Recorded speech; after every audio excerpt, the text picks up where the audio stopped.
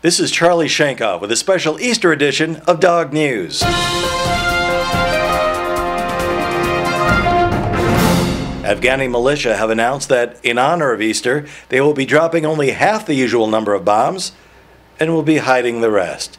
The Catholic Church has identified the painting of The Last Supper by Leonardo da Vinci as actually depicting a Passover Seder.